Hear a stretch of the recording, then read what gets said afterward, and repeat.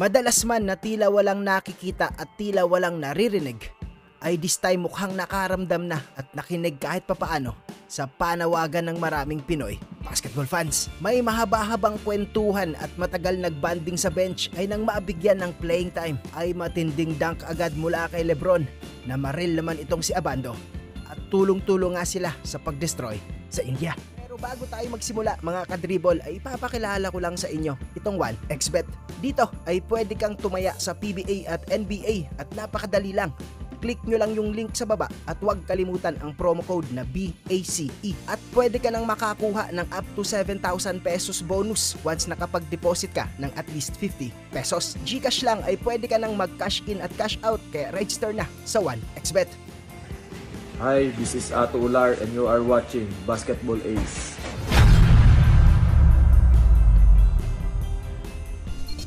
Dahil sa pagkatalo ng Gilas kontra Lebanon ay maraming ang Pinoy basketball fans ang hindi natuwa at talagang naglabas ng kanilang ngit-ngit sa larong ito. Natalo man ay ginit nga ni Coach Chot na tingin niya ay mas importante ang learning experience na nakuha ng kanyang batang kupunan.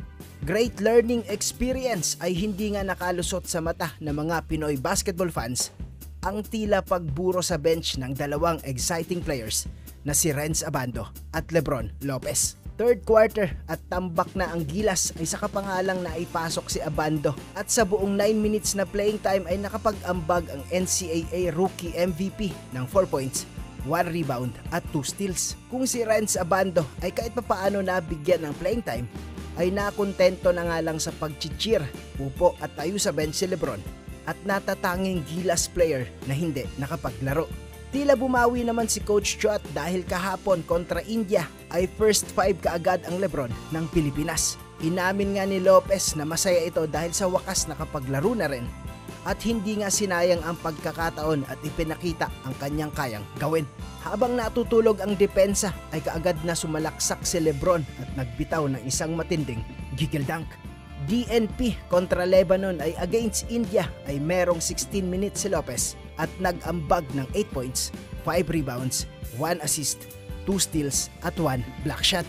Halos 16 minutes din na playing time ang nakuha ni Abando at kung si Belga ay may shotgun, ay meron namang handgun si Renz at namaril pa ng taga-India.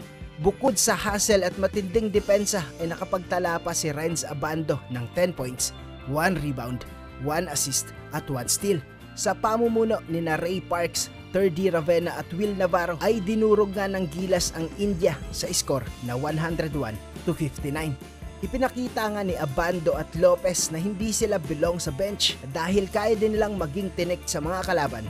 Bit-bit ang kanilang energy, athleticism at pagiging good defenders.